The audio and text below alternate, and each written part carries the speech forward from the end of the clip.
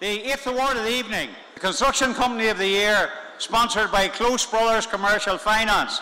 Here to present the award, Frank Coffey, the Sales Director of Close Brothers Commercial Finance.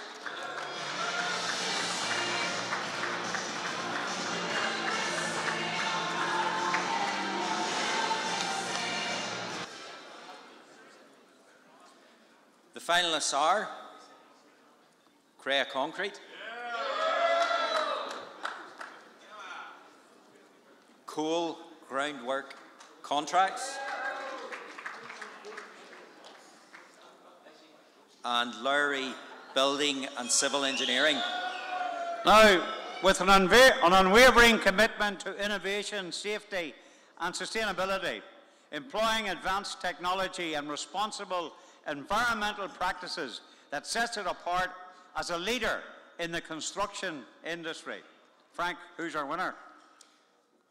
The Construction Company of the Year is Creagh Concrete.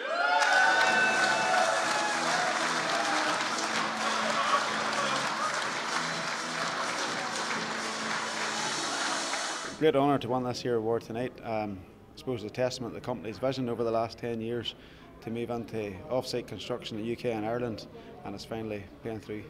Plant and Civils is uh, one of the favourite events of the year, um, and I would just like to wish uh, the construction company of the year, Creagh Concrete, all the best. Congratulations, and it's uh, well deserved in a hard category.